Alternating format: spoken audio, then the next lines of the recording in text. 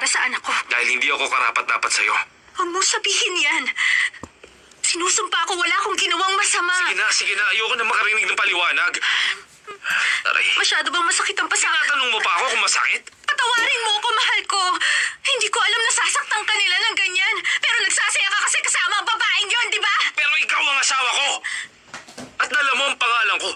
Pinagmumukha mo akong tanga. Hindi ko Hindi ko binugbog ang mga yun dahil sa'yo o dahil sa pagmamahal o dahil sa selos. Kundi dahil sa dignidad na rinig mo para ipaglaban ang pangalan ko na dala mo dahil asawa kita. Sinabi ko na yun. Alam ko na ang pangalan na yun bago pa ako naikasal sa'yo, Jorge Luis. Si Santiago nagbigay nito sa akin. Maria Mercedes, buti pang tumigil ka na dyan. Bakit? Teka, mahal ko. Ang mahalaga, iniwan mo na rin mag-isa si Mystica. At natapos na ang party para sa Tapos na lahat. ang party para sa'yo, sa akin at sa kapatid mo. Uuwi na tayo bukas. Maria Mercedes, huwag kang pupunta sa bahay ni Mama dahil pag sinubukan mo, talagang palalayasin kita ron. Bahay ko rin yun para sabihin ko sa'yo. Kahit na. Makinig ka sa sasabihin ko. Mula ngayon, tapos na tayo, Maria Hindi Mercedes. pwede, Jorge Luis. Wala rin naman patutunguhan ito. Tapusin na natin ito. Hindi ka rin naman nagbago sa pagiging bulgar mo. At kalad ka rin. Ah, ganun ba? Sa kabila ng mga panginsulto mo sa akin, wala naman akong planong sumama dun sa lalaking yun. Samantalang ikaw, kasama mo ang malanding si Mystica. Pero alam mo ba, sa oras na makita ko si Mr. Sebastian, sasabihin ko sa kanya lahat ng pinaggagawa niyo. Sige, ano masasabi mo doon, ha? Subukan, Maria Mercedes. Huwag kang magsimula ng iskandalo dahil kaya kitang... Kaya mo kung ano? Kaya mo akong patayin? Kaya mo akong patayin, ganun ba? Sige, patayin mo ako! Patayin magawa yun, sinusumpa ko, hihilahin ko ang buhok ni Mystica na yun at kakaladkarin ko siya sa harap ng mga tao. Pero alam mo, bubugbugin ko siya hanggat gusto ko. Sinusumpa ko yun, Jorge Luis! Gagawin ko yun! Televisa presenta Anong oras na ba? Masyado pang maaga. Matulog ka muna. Gusto ko mag-shopping. Anong oras ka babalik? Sa hapon na. O baka gabi. Alam mo naman na mahilig ako mag-shopping. Lalo na kapag gusto kong bumili ng mga damit. Mahirap kasi maghanap nun eh. Ah, saan ka kakain? Kahit saan ko gusto. Magkita na lang tayo. Bukas?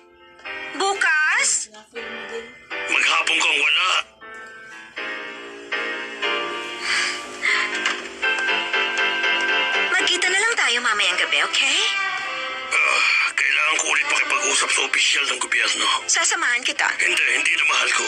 Usapan ng mga lalaki yun. Usapang negosyo. Mas mabuti pa manatili ka na lang sa hotel. O kaya sumama ka muna kay Rodolfo. Sige, sige. Huwag ka nang mag-alala.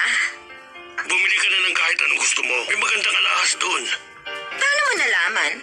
Nag-window shopping ka ba? Kaya alam mo, mahal ko. Ah, hindi. Siyempre hindi. Naisip ko lang naman.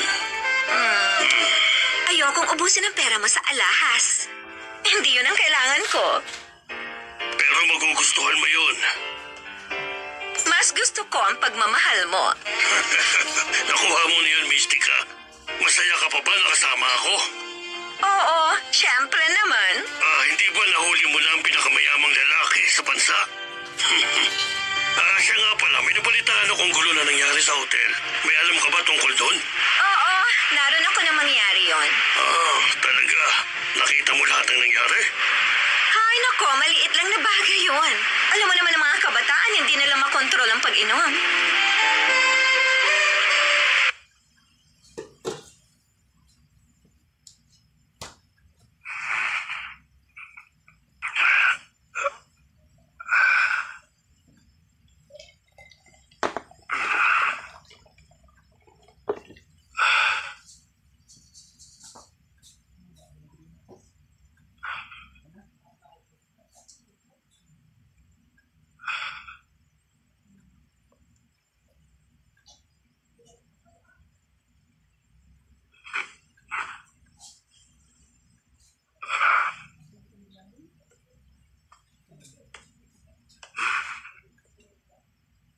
Hindi. Hindi siya kasing bait ng inakala ko.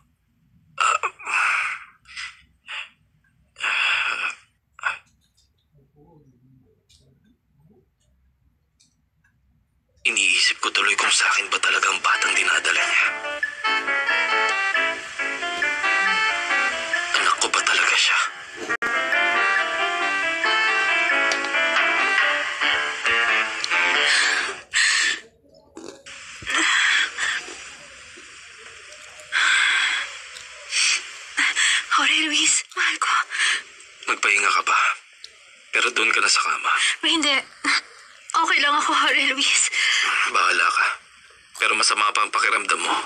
Bakit hindi ka matulog? Ay, ikaw rin naman. Ay, binantayan lang kita dahil baka may mangyari sa'yo. Ano naman ang mangyayari? Baka kasi mamatay ka sa pagdurugo ng mga sugat mo. Huwag kang eksaherada, pwede ba? Hindi ako mamamatay. Isa pa, wala ka rin naman pakialam. Bakit mo nasabi yan? Maghahanda na ako sa pag-uwi natin. Aalis na ba tayo? Oo. At gaya ng sinabi ko sa'yo, pagdating doon, naayusin natin ang sitwasyon natin. Iiwan mo na ba ako? Oo, Maria Mercedes. Dahil hindi tayo maaari magdiborsyo dahil sa sanggol. Maghihiwalay muna tayo. At huwag mo nang ipilit na tumira sa bahay namin, ha? Hayaan mo na yun kay mama, nakikiusap ako. Gusto niya ang bahay na yun. Tumira at naghirap siya ng maraming taon doon. Bahagi na yun ng buhay niya.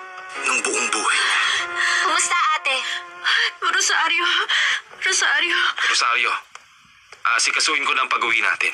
Bayaw, pero... Wala nang pero-pero. Sige, maiwan ka kung gusto mo. Nakalimutan ko na gusto ko lang samahan ni Maria Mercedes dito. At saka gusto siya ni Mr. Sebastian. Pero aalis na ako. Hindi. Sasama lang ako sa'yo sa pag-alis mo. Sasama lang ako sa'yo. Sasabay ka lang. Pero hindi mo ako kasama. Hindi ko maintindihan. Gusto ko sabihin sa'yo, Maria Mercedes. At nakikiusap ulit ako sa'yo sa harap ng kapatid mo. Na bumalik ka na sa inyo pakiusap. Kung nasa ng mga kapatid mo, kung saan tumira ang papa mo. Pero kasal ako sa'yo. Asawa mo ako. Kailangan ko sumama sa'yo sa bahay na yun. Sinabi ko na sa'yo na maghihiwalay na tayo. At magdediborsyo pag maaari na.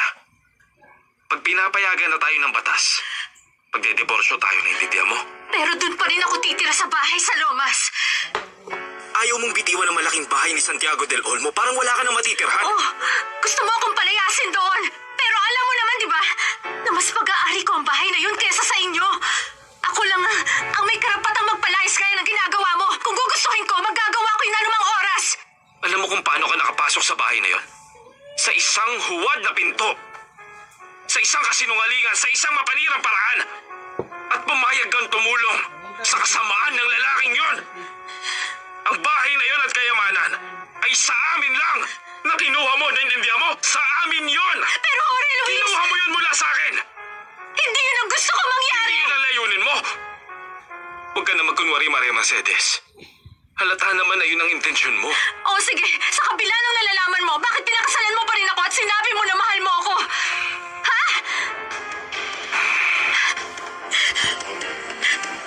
Hindi mo na kailangan sagutin